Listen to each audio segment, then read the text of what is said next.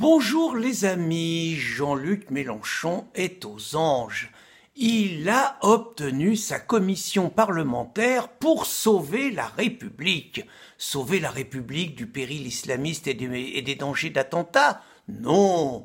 Sauver la République des casseurs d'extrême gauche qui agressent les policiers, appellent au meurtre contre eux et vandalisent régulièrement les centres-villes? Non contre l'extrême droite. Et comme Emmanuel Macron lui-même voit dans la manif des Gilets jaunes l'instrumentalisation de l'extrême droite, comme il rêve d'éradiquer toute la réinfosphère, il ne pouvait naturellement que donner une suite favorable à la demande de Mélenchon, chez qui c'est une obsession, puisque, faut-il le rappeler, en 1995, il demandait déjà l'interdiction du Front National, à l'époque avec Philippe Val de Charlie Hebdo.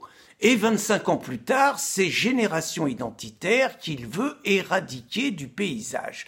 Mais pas seulement Génération Identitaire qui va être à la tête de cette commission d'enquête parlementaire L'ineffable Muriel Ressillier, surnommée Miss Goulag, et qui, elle, demande ni plus ni moins la dissolution de la Ligue du Midi, présidée par Richard Roudier. Qui va siéger dans cette commission parlementaire parmi les 25 personnes retenues? Mais Mjid El Gherab, celui qui a fracassé à coups de casque la tête d'un socialiste qui avait le tort d'être en désaccord avec lui. Alors ces principes, est-ce que ça va s'arrêter simplement à des associations comme Génération Identitaire ou la Ligue du Midi? Bien sûr que non, ça va s'élargir à la réinfosphère dont Macron rêve d'obtenir la disparition au nom naturellement de la lutte contre les fake news. Et dans le quotidien, ça se traduit comment? Vous aviez eu l'année dernière, en pleine période législative, une Mélenchonienne, une nommée Manon Muller qui a Calais avait ni plus ni moins demandé des sanctions contre une enseignante, par ailleurs professionnellement irréprochable, mais qui avait le tort de se présenter à une élection législative sous l'étiquette de Civitas. On n'est pas dans la ligne, on est, paraît-il, complice de la bête immonde, on est viré de l'éducation nationale.